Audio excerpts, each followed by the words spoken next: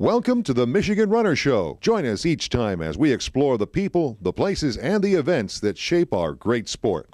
Gary Morgan with the Michigan Runner, and we are interviewing the one of the greatest runners of all time, Kip Keino, who won the uh, 68 gold medal in the 1500 meters in Mexico City, and uh, he here is here in Chicago. He's honored at the Kenyan Marathon Dinner. So, uh, Kip, what's it like being here in Chicago? Well, like uh, I must tell you, I've enjoyed being here in Chicago, and I feel to enjoy the marathon on Sunday. And I wish all the marathon runners the best for what they are going to run. Um, I, there's a lot of a lot to learn about Chicago. Is this your first visit to Chicago? This is my second visit to Chicago, but I was here 20 years ago, Oh. and this is a lot of improvement in Chicago, a lot of construction. The city is looking nice. Yep, got a lot going on. And uh, so now, uh, where is your permanent home? My permanent home is in Kenya. I'm in a place called Eldoret, El- but most of the time, because I'm a National Olympic Committee president, so I'm in Nairobi for a few days, then back to Eldoret. So, uh, do you keep in touch with our, our good friend Wesley?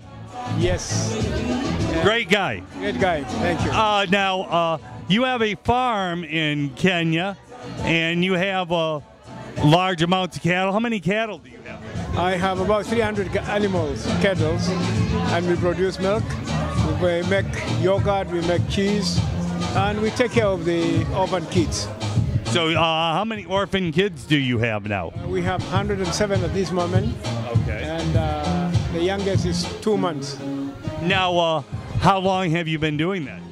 Well, I've been doing since 1965 up to today. Uh, how many acres of uh, property do you have?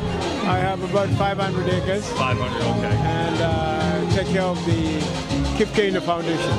That that's uh, great. Uh, you, you said you've even adopted kids uh, from other countries.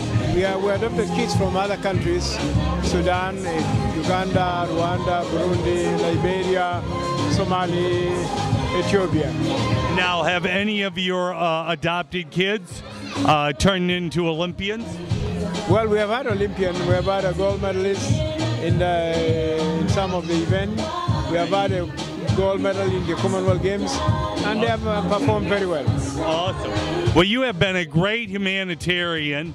And uh, what is your um, vision for the future of your um, orphanage, adopted kids? Uh, where do you want to take it from here? Well, my aim objection with myself and my wife is to give them a shelter, give them education. When somebody have a knowledge, can be able to live, and you can be able to walk anywhere in the world. Those are the most important that they have education.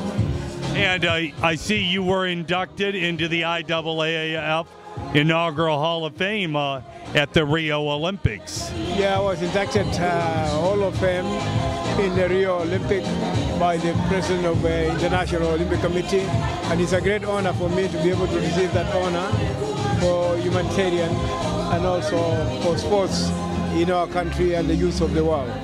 And uh, one last thing, do you keep in touch with uh, your rival and very good friend uh, Jim Ryun?